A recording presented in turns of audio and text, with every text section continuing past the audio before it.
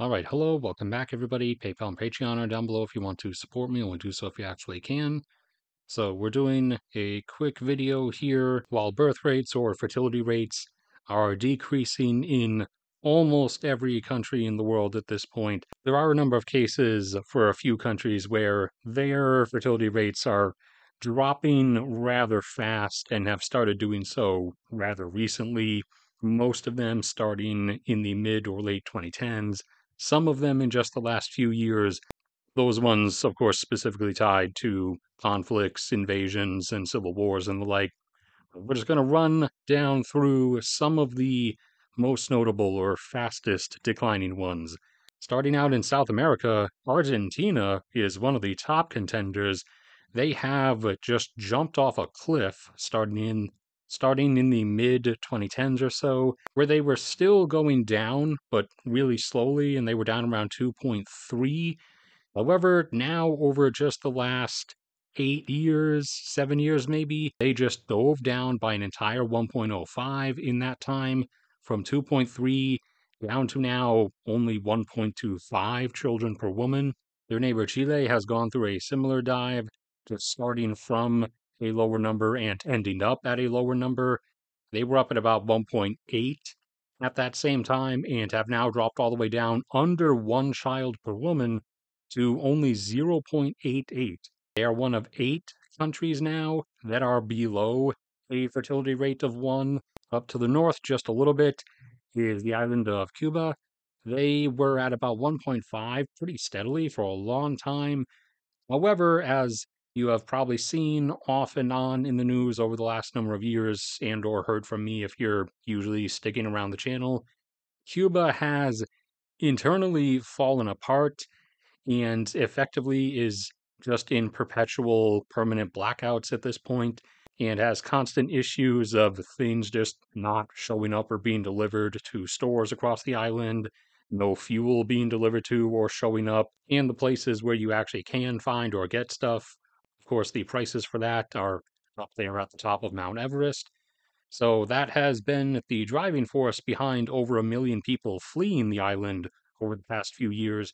The fertility rate has curved over into a steep drop and is now and is now under 1 waiting for some clarity on the specific number but most likely they're around 0.92 Belarus over the last decade or so has fallen from the upper ones down to now a flat one child per woman, and thus is and thus unless they suddenly start going up out of nowhere, they're going to be going under one next year. Russia had managed to recover their fertility rate up to 1.7.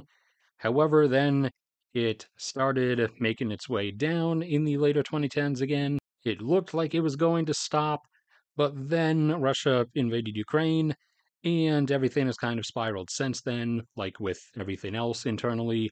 And they've dropped down now to 1.09, although it looks like this is where it's stopping for the moment. Although publicly on their officially published data, Russia insists that their fertility rate has remained exactly 1.41. China was dropping pretty fast. It looks like they're starting to level out here and they fell from 1.8 down to now 0.96.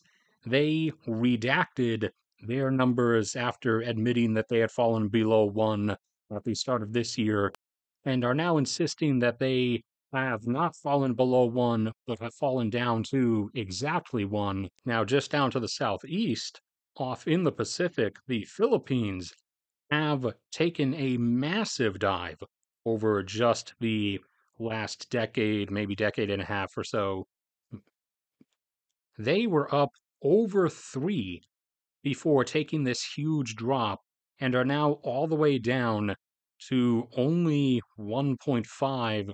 And it actually looks like they're going to end this year below 1.5 children per woman. Ukraine had fallen down from 1.5 to under 1.2 but was climbing back up a little bit, just by a bit, up to above 1.2 again until the invasion happened, since which, over the preceding three years, They have fallen down to under 0.7 children per woman. Another war induced drop has been Sudan, who was descending as every African nation now is, and they were down at 4.3 children per woman.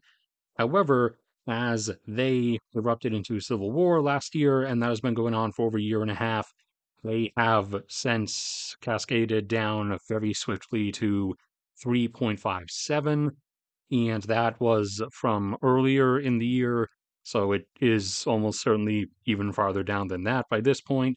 Elsewhere on the continent of Africa, Nigeria is also descending pretty quickly, not as fast as many of the others on this list, but they're just enough as they were descending more gradually. However, about between eight and 10 years ago, they started tipping over into a much quicker descent.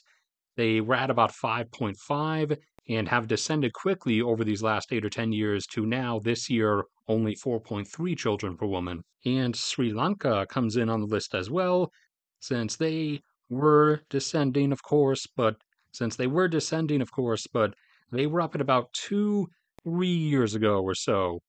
And then they have abruptly now nosedived down to 1.4 because of, for those of you who remember 2021, Sri Lanka effectively collapsed. Granted, things did return to normal, so to speak, after a number of months. And the last one that I'll throw on the list for this one is the Czech Republic. They were recovering infertility rate and had gotten decently back up. They were up to about 1.8.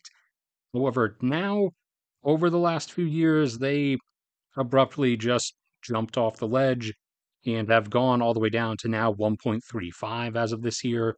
And with them down, that is the last one. So thank you everybody for sticking around and listening. Like if you enjoyed, subscribe if you haven't already. PayPal and Patreon are down there if you want to support me. Only do so if you actually can. There's a link in the description to a Google Drive folder with all kinds of different graphs and charts like the ones that were in this video. That's all there 24 7 for you to access, and it's free to use as well. There's a link below that to my photography Instagram. There's a link to my cat's YouTube channel the top pinned comment.